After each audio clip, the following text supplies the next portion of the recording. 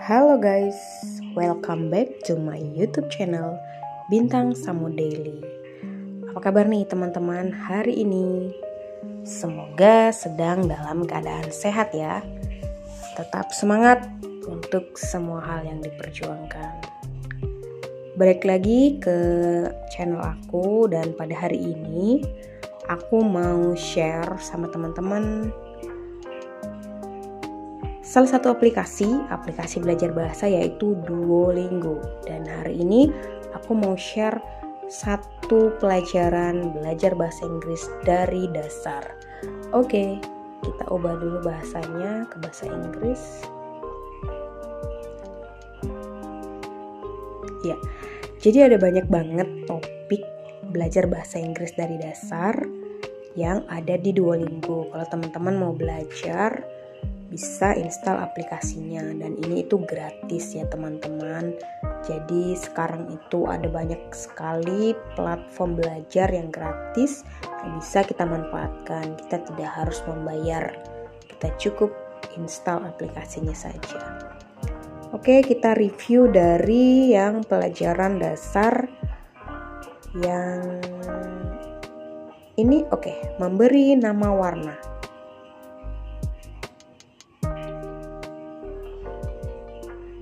start. Ya, warna-warni. Colorful. Colorful. Yay, bagus. Ya, ini kita mix and match ya teman-teman. Ada nama-nama warna atau juga jenis uh, benda tertentu kita mix and match. Kuning itu? Yellow. ya. Duck. daging? Meat, makanan? Food. binatang? Animal. yeay ungu. Ungu itu? Purple. yes oke kita mix and match lagi burung bird, nasi Rice. biru Blue. tikus mouse, makanan Food. Oke. Abu-abu. Gray. Yes. I have a green turtle. Ya, ini kita translate ya teman-teman apa yang dikatakan oleh aplikasinya. I have a green turtle. Artinya apa ya? Hmm, I itu saya memiliki hmm, seekor eh, kura-kura hijau. Benar nggak ya? Yeay, benar. Pink elephants, Pink Elephants. Kita ngetap apa yang aplikasinya bilang. Pink, pink elephants. yes. Oke, lanjut. I have orange shoes. Translate lagi. Saya memiliki sepatu. Orange? Orange? Jingga kah?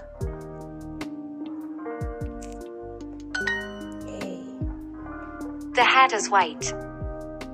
Ya, kita ngetap apa yang dikatakan oleh aplikasi. The Hat, oh sorry, hat. the The hat. hat is white. Ya, artinya topi itu putih. Kopi, Coffee. coklat, Brown, kuda, horse. tidak, No, buah. fruit. Oke. The red apple. The red apple. Ya, artinya apel itu merah. The shoes are black.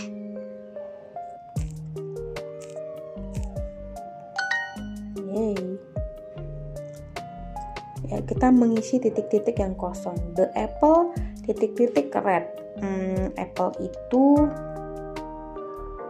uh, satu ya kayaknya berarti is. Yay. Your color is purple.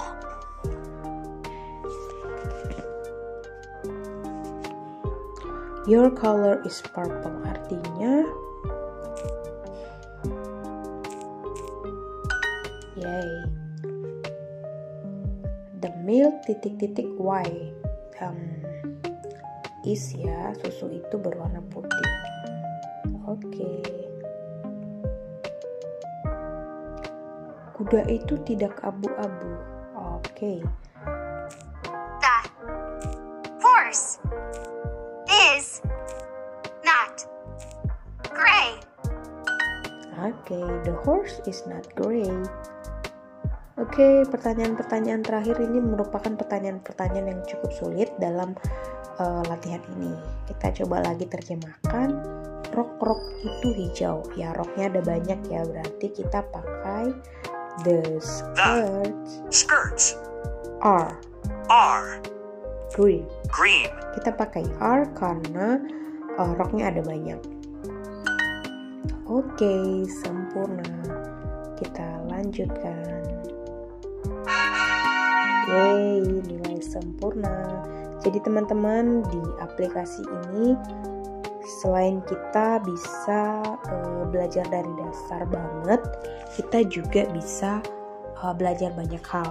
Mulai dari translate, kita juga belajar speaking, kita juga belajar listening atau mendengarkan dan masih banyak lagi. Dan ini ada banyak unit yang masing-masing unitnya bisa dikerjakan dan cukup membantu untuk misalnya kita yang mau belajar uh, bahasa Inggris dari dasar banget. Juga sebenarnya ada uh, tingkatannya ya. Mungkin teman-teman sudah pernah belajar bahasa Inggris dan dan tidak uh, mau belajar dari dasar itu juga ada. Jadi ada banyak pilihan. Kita bisa mulai dari dasar, uh, menengah atau intermediate dan advance. Jadi semua itu ada di aplikasi Duolingo ini teman-teman bisa cari di uh, Play Store atau yang pakai iPhone.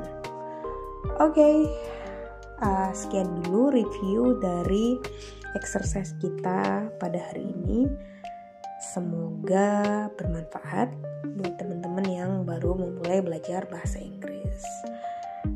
Uh, terima kasih teman-teman dan Selamat menjalankan aktivitas dan jangan lupa ada banyak video menarik lainnya di YouTube channel aku. Teman-teman bisa cek dan menonton juga video tutorial atau video belajar lainnya. Thank you teman-teman. See you in the next video.